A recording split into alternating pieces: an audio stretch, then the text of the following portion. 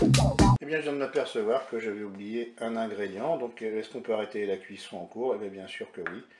On va euh, arrêter la cuisson. Je vais rouvrir à nouveau mon Cookéo. Et là, l'ingrédient que j'ai oublié, c'est le cube de bouillon de bœuf.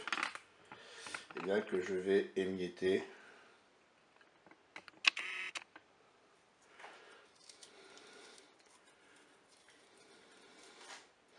je remélange.